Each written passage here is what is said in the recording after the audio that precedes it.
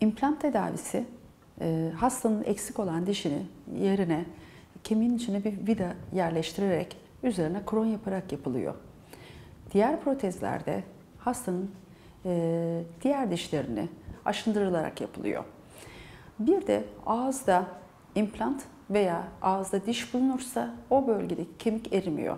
Köprü ya da damak e, yaparsak hastanın e, kemiği de eridiği için ileriki dönemde implant tedavisi yapmamız da zorlaşıyor. Ama kemiğin içinde implant varsa kemik erimesi o durumda duruyor. Çünkü çiğneme hareketiyle birlikte kemiğe basınç geliyor ve kemik daha eski sağlıklı haliyle devam ediyor.